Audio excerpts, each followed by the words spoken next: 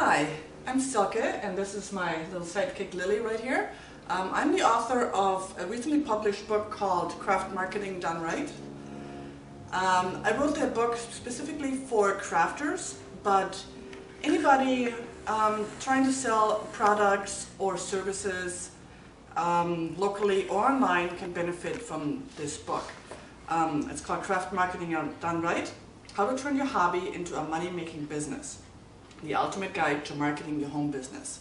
Um, the reason I wrote this book is because my husband, Nick Jager, and I, um, we started um, crafting bottle lamps like the one you see behind me um, several years ago.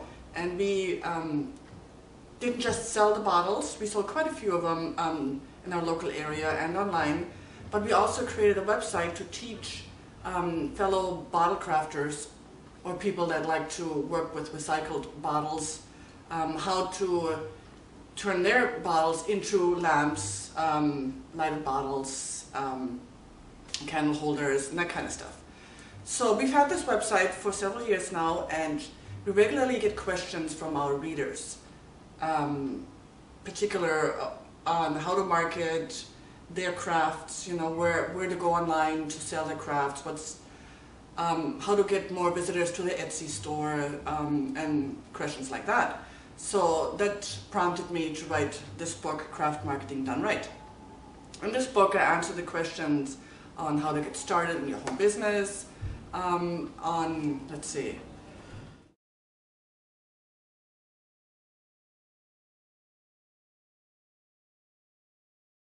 or how to get paid online, you know, all the different ways you can get paid online and in person um, without having to spend a lot of money yourself.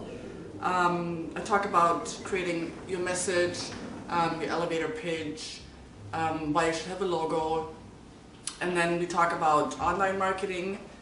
Um, I'll give you ideas, I give you really good um, product photography tips, how to take really, really good shots, pictures of your products that draw the attention of viewers. I mean, there's millions of people trying to sell their, their products and everybody has nice pictures these days. So you really really need to stand out online if you're trying to, to sell with your pictures.